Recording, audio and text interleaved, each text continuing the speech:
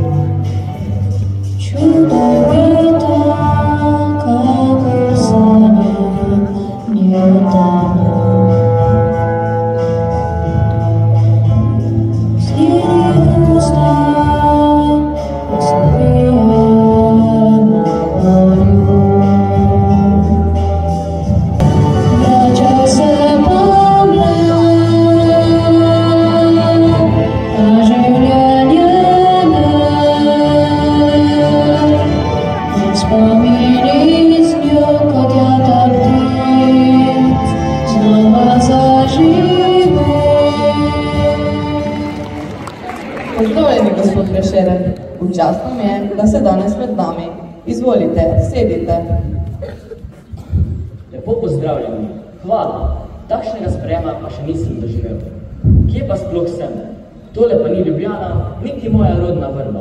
Gospod Prešeren, trenutno ste na naši osnovni šoli v Radljah in verjamem, da je tukaj precej drugače, kot ste bili navajeni. Na šoli. Šole se spomnim tudi jaz. Veš, da sem bil vsa leta šolanja odličen učenec. Celo v zlato knjigo sem bil pisan. Priznam, da sem se šole oziroma učiteljeve šibe kar malo bal. Zato pa sem se raje pridno učil. Ojej, a šibe, no, danes za to ne rabite skrbeti. Poglejte, ali vidite, kje je učitelja za šibo? Ne, danes kam dlja od opozoril in negativnih pisov glede potrebnih izboljšav e-asistenta ne pridemo. Pisal. Kaj si rekla, če sem kaj pisal? Ja, ja, jaz sem pisal, pisal. En kup pesmi, takšnih in drugačnih. Čeprav to mojim staršem in stricem ni bilo najbolj všeč. Veš, z mano so imeli drugačne načrte. O, Šimen, kaj bova z najnim francetom? Najraje bi videla, da bi bil duhovnik, tako mu nikoli ne bi bilo težko v življenju. Meni je rekel, da bo cesar. V nedeljo sem ga slišal, kako se je prepiral z Jarico, češ, da bo velik gospod. Zadnjič je bil čisto prevzet od vojaških pesmi. Vojaka je prosil, naj ga vzame s seboj, češ, da želi postati vojak. Veš, Mina, jaz bi ga naraje imel tu doma, na kmetiji, a noče o tem nič slišati in delo ga tudi ne veselim.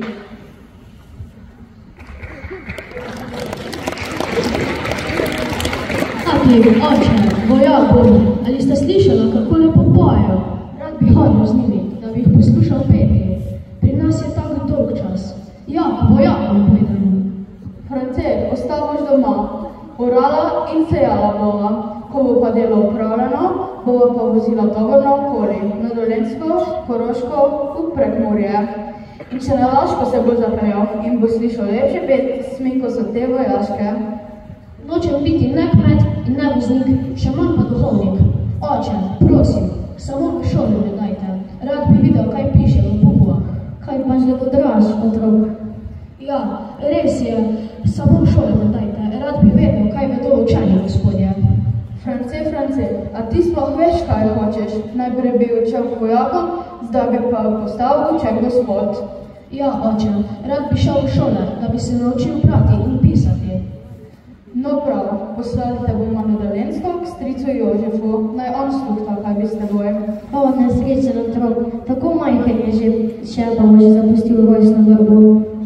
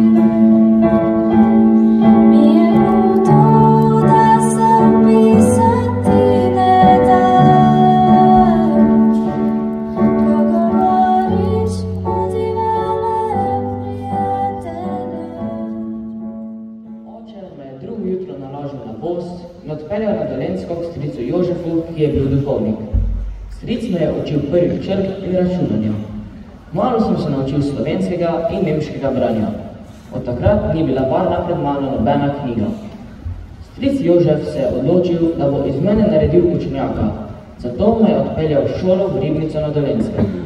V končani gimnaziji pa sem se odločil za študij prava na Dunaju in tako sem postal pravnik. Strici niso bili preveč veseli, saj so želeli, da postanem duhovnik, a jaz o tem niti slišati nisem hotel. Zavrnil je moje povabilo na šolski ples. Ne morem verjeti, ne mara me. Kdo te ne mara? Ah, ne bi o tem, saj me verjetno ne bi znali pomagati. Saj tudi vam ljubezenska sreča ni bila ravno naklonjena, mar ne? Ljubezen. No, dolgo je že tega, ampak Primičeva Julija se pa še dobro spominjam. Kako zelo lepa je bila, njene oči, njen mili glas. Kako sem iskal besede na prve črke njenega imena, da sem uspel sestaviti sonetni venec njej v čas. Franci Prešeren, magistrala. Pojet tvoj nov slovencem venec vije, ran mojih spominov in tvoje hvale. Iz srca svoje so kali pognale, mokro cveteče rožce poezije. Iz krajev niso, ki v njim sonce sije, cel čas so blagi capic pogrešvale, obdajale so utrjen me iskale. Viharjem jeznih mrzle domačije, izdihljeri solze so jih redile, jim moč so dale rasti neveselo, v temnih so zatirale sile. Lej, torej je bledonih cvetje belo, jim iz oči ti pošilja žarke mile in gnale bodo nov cvet bolj veselo.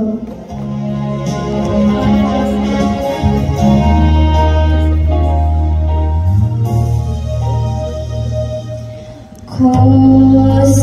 sam in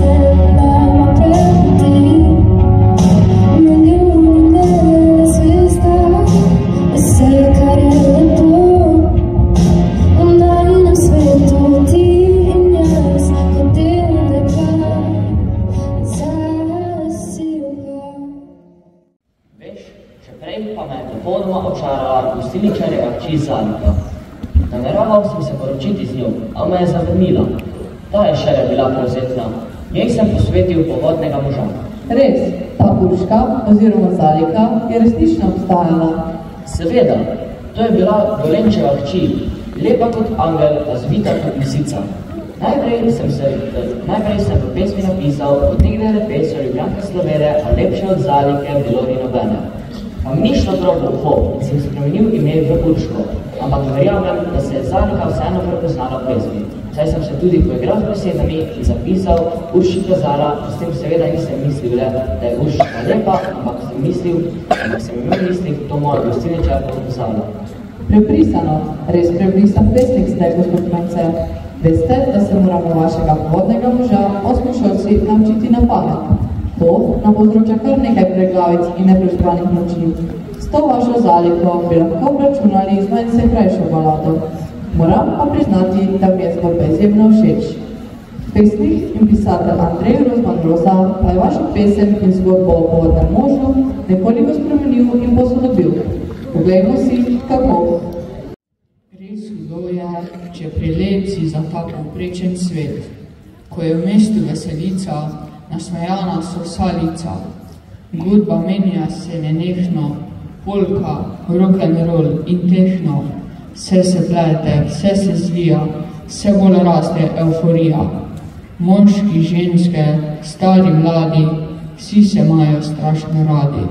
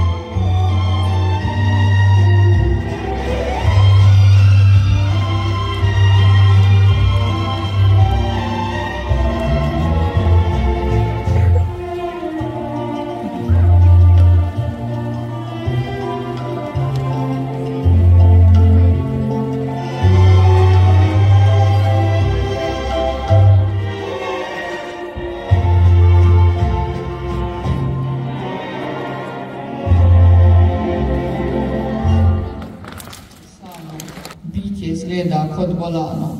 To je urška lepotica, ki prav kislega je lica. Bolj ko gleda te ljudi, bolj je jasno, da ga ni.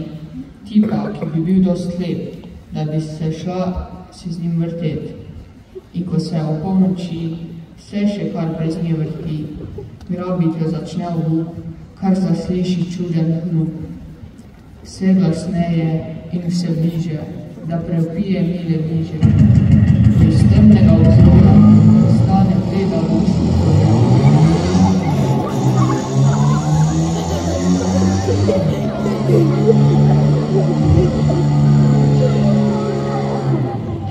Motor ohni in ropota kot iz drugega sveta, dokler končno ne ustavi, se ob Urškini postavi. Urško, ko v njej parkira, kar potrese od nemira. Hrupa utihne, luč se otrne in iz silhuete črne stane tip visokoščen, lep kot kakšen maneken. Ko pa še čelado sname, zdi se, da je iz reklame. Urška srepo buli van, kot bi bil pred njo ekran. Tip pa reče, Živjo mala, a bi malo zaplesala. In ker godba kar molči, tipček jezno zakriči. Kva je Ben, a bože kaj, eno hitro zaigrej. Končno mene vreden tip.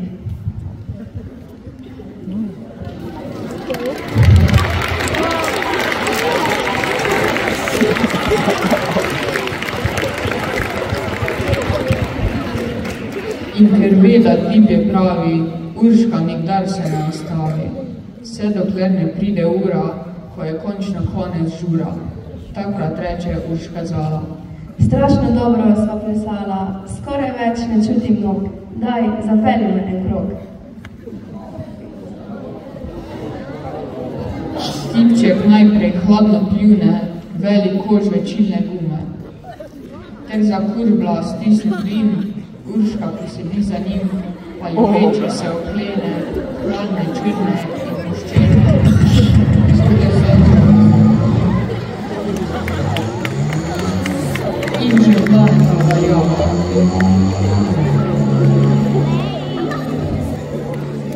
Že popoldne se razve, da kjer moč čez Savo gre, neurejene so bankine in asfaltne izbokline, ter pretirana hitrost, bili so zvok, da je zgreši most.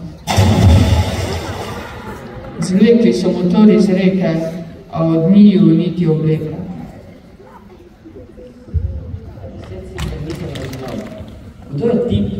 Pa kva in bend?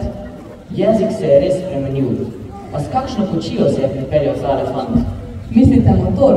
Lahko bi rekla, da je zamenjal konja. Da, danes fanti osvajajo dekleta z motorji. Kaj pa pisanje ljubezenskih pisem in pesmi? Mladi večinoma pesnimo preko telefonov z SMS-i, a na šoli ohranjamo zaveščitljive in lepe pisave. Vsako leto priredimo na tečaj prešerno pero za najlepši lepopis. Imenuje se po vas, saj ste znani po lepi in zanimivi pisavi. Nagrada pa je prav posebno pero. S takšnim še niste pisali. Letos so učenci prepisali te besedila iz pesmi Rudolfa Majstra, našega pomembnega generala, obranitelja severne meje ter velikega domoljuba, ki je pisal tudi pesmi. Kralj Matjaž, oj stoji mi beli dvorec, tam pod goro zeleno, oj globoko tisto sežnja, tam pod goro zeleno. Dvorec staje kralj Matjaža, kralj Matjažev beli dvor. Sobojnikov svojim zvestim ga postavil je Matjaž. Sto enako s ulicami, sto enako s saljami, sto enako z buzdovani, v belem dvorcu tiho spi. Sredi zvestih tih junakov miza stara kamnata, a za, ta, a za kamnato to mizo beli sukni kralj Matjaž. Najlepši lepopisni izdelki so že razstavljeni v avli šole. Zmagovalce pa bo razglasil gospod ravnatelj dr. Damjan Strajnik. Dragi učenci, spoštovani sodelavki in sodelavci, lepo pozdravljeni. Slovenci imamo ta privilegij, da imamo gospoda Prešerna. In ker je kultura tista, ki definira narod, je seveda tudi prav, da imamo kulturni praznik. Zato vam najprej čestitamo slovenskim kulturnim praznikom in vam jutrišnji dan želim, da boste saj nekoliko pomisli na kulturo in se spomnili na gospoda Prešerna. Ob tej priložnosti bi se vsem zahvalil za današnjo prireditev. In kot je že bilo omenjeno na naši šoli, pa k temu prazniku dodamo še eno, še nekaj več. In bi se zahvalil tudi komisiji, ki je imela zelo, bi rekel, da težko nalogo, da je izbrala najlepše rokopise, kajti vemo, da eno je tisto, kar pogledamo, če so vse vejice na prave mesto, velike začetnice, to je nekoliko lažje določiti. In tudi to vam je predstavljalo kar nekaj težav in vam naredilo kar nekaj težav. Drugi kriterij pa je seveda to, kaj je bilo tisto, kar je najlepše. In na koncu ti izdelki so že razstavljeni v avli. Jaz vsem, ki ste sodelovali, čestitam. Tisti, ki niste bili najboljši, pa morda do drugega leta še nekoliko povadite. Zdaj pa, zdaj pa gremo. Ne? Priznam, da sem bil že nekoliko doveden, da sem že prej zjutraj pogledal, kateri ste nagrajenci in seveda vabim te učence, da se mi pridružite. Iz prve triade Meta Lavko iz tretjega B razreda in Kevin Terlik iz tretjega A razreda. Potem iz druge triade se lahko kar prideta tudi Lija Sofija Mravljak, četrti A, in Milan Kuzmič iz četrtega A. In pa še iz tretje triade Živa Kramljak in Kaj Gorja Kočijaš. Iskreno čestitke.